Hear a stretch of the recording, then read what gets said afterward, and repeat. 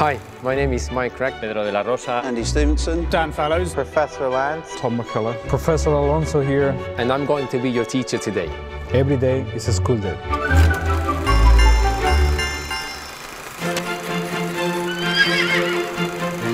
An average driver would really struggle to drive a thousand brake horsepower Formula One car. The grip uh, is such a peaky part of the tyres and the makeup and the acceleration of the car that they would probably spin just in a straight line. Could I cope with 1000 horsepower under my right foot? Um, scary experience, but I would probably manage. I would really struggle to cope with a car with something like thousand brake horsepower. I have been fortunate enough in the past to drive cars with about half of that and struggled enormously with those, so I have no idea how the drivers manage it. Hardest thing to get used to, um, I think it's just coping with the speed. I just remember the first time I drove a Formula One car was at Silverstone and everything just felt like it was coming at me so fast.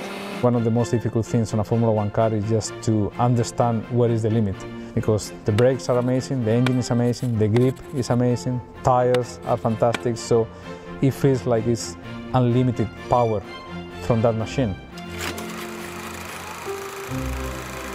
Formula One cars go around the track at very, very high speeds, uh, more than 300 kph on the straights. The G-forces are very, very high, especially in the corners. When you hit the brakes, the carbon brakes in a Formula One car, you go up to five over five Gs of deceleration. So the car under high G forces is going through a, a, huge amount of deceleration, which means every part that has mass or everything that has any, any weight to it um, is having to go from a certain speed to either a much greater speed or, or a, a much less speed and that puts incredible strain on all of those components. So drivers in modern Formula One need to be incredibly fit. They are exposed to enormous G values in the car, which is the acceleration. So in other words, your, your multiples of your body weight are, are being experienced by you as you go around a corner um, under very violent um, accelerations and decelerations, particularly under things like braking. Their head muscles or their neck muscles have to be incredibly strong to cope with those G-forces.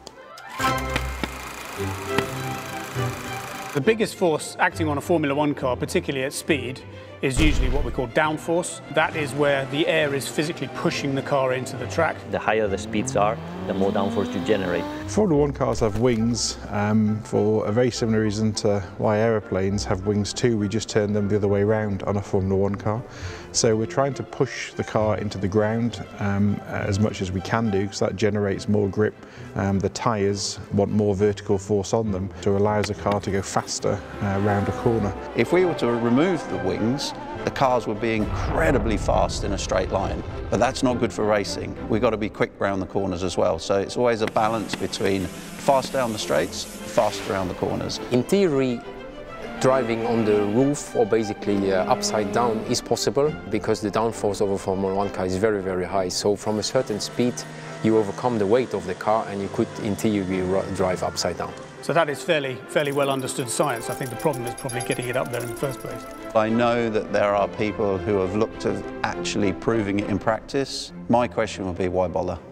Um, you're never going to race like that. A Formula One car is made for racing. We're not a circus act. Probably it's quite an expensive exercise to do it. That is probably why nobody has done it yet.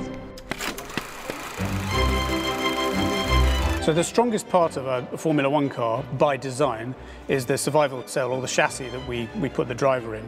Now obviously we want that to be the strongest part of the car and also the, the one that can survive the best in a, in a crash situation. With all the deformation structure around, the driver can have an incident or crash at 150 kph and walk away because the crash energy is absorbed quite a lot in the crash structure uh, then reducing the deceleration to levels that uh, can be sustained by the body.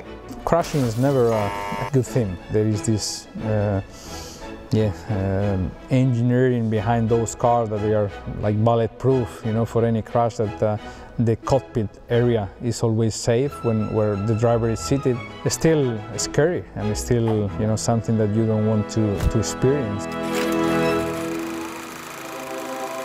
So the Halo is a device that was introduced a few years ago, particularly to stop any objects hitting the driver themselves. So it is a, a titanium part around the cockpit that prevents uh, uh, intrusion of any parts or other cars onto the cockpit and to protect the driver's head. It has served miracles already in the last years. To give you an idea of how, how strong uh, a halo is, if, if you were to, to throw, difficult to imagine, but if you were to throw a London bus at a Formula One car in the direction of the driver's head, the driver would be safe.